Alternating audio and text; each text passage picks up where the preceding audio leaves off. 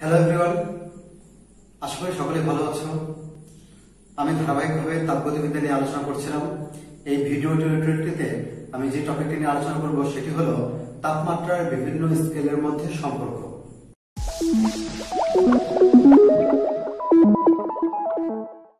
তো, আমরা তাপমাত্রার কতগুলি স্কেল জানি? আমরা প্রিভিয়াস ভিডিওটিতে তিনটি স্কেলের কথা বলেছিলাম। কি কি? তিনটি স্কেল কি কি ছিল আমাদের? সেলসিয়াস স্কেল ক্যালভিন স্কেল এবং ফারেনহাইট স্কেল চলো আমরা একটি ছক দেখি। এই ছকটি আমরা আগের ভিডিওটিতে দেখিয়েছিলাম। চলো আমরা আরেকবার দেখে নিই। জাস্ট মনে রাখার জন্য। আমাদের তিনটি স্কেল ছিল সেলসিয়াস ক্যালভিন ফারেনহাইট সেলসিয়াস কে সি ক্যালভিন কে কে এবং ফারেনহাইট কে দ্বারা প্রকাশ করা হয় এবং স্কেলগুলোতে এগুলো হলো নিম্নস্তর বিন্দু, এগুলো হলো ঊর্ধ্বস্থ বিন্দু এবং এগুলো হলো মৌলিক ব্যবধান। তো আমরা এখন এই সেলসিয়াস ক্যালভিন ও ফারেনহাইট এই স্কেলগুলোর মধ্যে একটি সম্পর্ক বের করার চেষ্টা করব। যে সম্পর্কটি দিয়ে তোমরা এক স্কেল থেকে আরেক স্কেলের তাপমাত্রা কনভার্ট করতে পারবে। তো চলো আমরা কীভাবে করব সেটা একটু দেখে নিই। তো তাপমাত্রার বিভিন্ন স্কেলের মধ্যে সম্পর্ক নির্ণয়ের জন্য আমাদের প্রথমে যে বিষয়টি মনে রাখতে হবে সেটি হলো, দেখো এটি যে তাপমাত্রা বিয়োগ নিম্ন স্থির বিন্দু ডিভাইডেড বাই ঊর্ধ্ব স্থির বিন্দু বিয়োগ নিম্ন স্থির বিন্দু। কি বললাম? আমি রিপিট যে তাপমাত্রা বিয়োগ নিম্ন স্থির বিন্দু ডিভাইডেড বাই ঊর্ধ্ব বিন্দু বিয়োগ নিম্ন স্থির বিন্দু। এই যে অনুপাত, এই অনুপাত সর্বদা সমান হবে। যে কোনো স্কেলের ক্ষেত্রে, যে কোনো স্কেলের ক্ষেত্রে এই অনুপাত সমান হবে।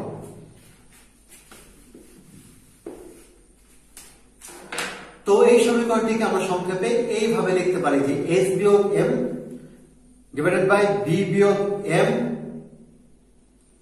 ইকুয়াল ধ্রুবক আমি আবার বলছি যে এস বিয়োগ এম ডিভাইডেড বাই বি বিয়োগ এম ইকুয়াল ধ্রুবক ঠিক আছে? তাহলে এখানে এস কি?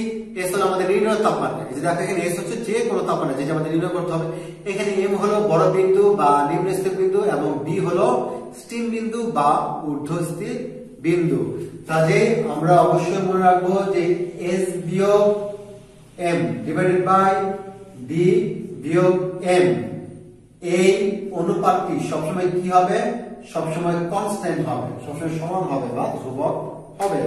তো এটিকে কাজে লাগিয়ে আমরা তাপমাত্রার যে তিনটি স্কেল বলেছি সেলসিয়াস কেলভিন ফারেনহাইট এই তিনটি স্কেলের মধ্যে একটি সম্পর্ক স্থাপন করব। তাহলে চলো আমরা কীভাবে স্থাপন করব সেটি একটু দেখে নিই। চিত্রে দেখো, এখানে একটি থার্মোমিটার দেখানো হয়েছে। এই থার্মোমিটারে এখানে হলো নিম্নস্থ বিন্দু এবং এখানে হলো এবং নির্দিষ্ট একটি তাপমাত্রায় এই থার্মোমিটারে যে তাপমাত্রা ভিত্তিক পদার্থ আছে সেটি থার্মোমিটারের বৈশিক নলবে এই পর্যন্ত উঠে আসে? এবং আমরা ধরে নিলাম এস হলো তাহলে সেই নির্দিষ্ট একটি তাপমাত্রা। তাহলে চলো আমরা আরও তিনটি থার্মোমিটার দেখি।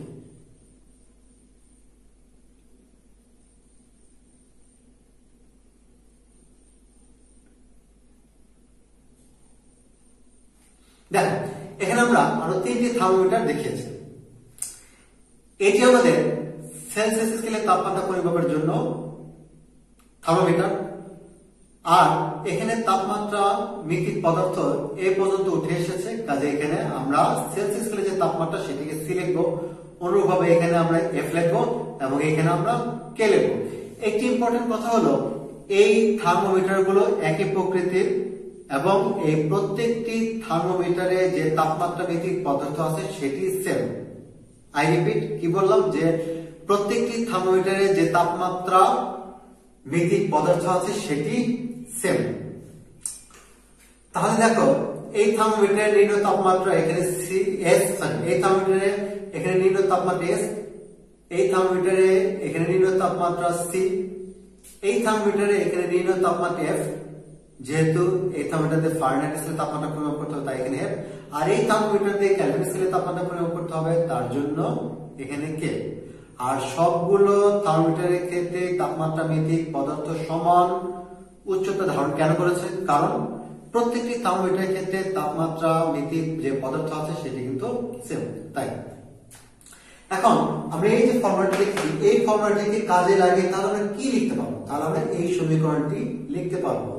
যে এস বিয়োগ এম ডিভাইডেড বাই বি বিয়োগ এম ইকুয়াল সি বিয়োগ জিরো ডিভাইডেড বাই হান্ড্রেড বিয়োগ জিরো ইকুয়াল এফ বিয়োগ thirty two divided by two hundred twelve বিয়োগ থার্টি টু ইকুয়াল কে বিয়োগ two seven three divided by three seven three বিয়োগ two seven three এই সমীকরণটিকে কাজে লাগিয়ে আমরা? এই সমীকরণটি পাবো। অর্থাৎ প্রত্যেকটি স্কেলের ক্ষেত্রে এস বিয়োগ এম ডিভাইডেড বাই বি বিয়োগ এম এই অনুপাতটি সর্বদা সমান হবে। তাহলে আমাদের এই সমীকরণটি পেলাম, এই সমীকরণটিকে আরেকটু